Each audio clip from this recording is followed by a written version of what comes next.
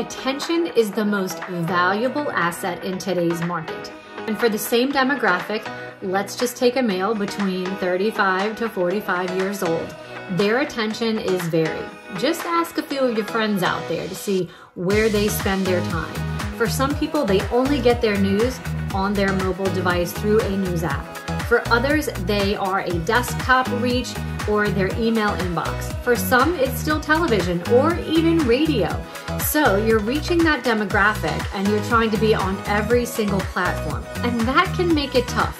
But segmenting your lists and making sure that they're optimized to reach your ideal client at the ideal time in the area on the platform where they get their information is going to help you do a better job of engaging them and getting them either in your door if you have a brick and mortar location or to purchase your product or your service. Whatever your call to action is, make sure that it's optimized and that you are segmenting those lists to get the most marketing spend for your marketing dollars.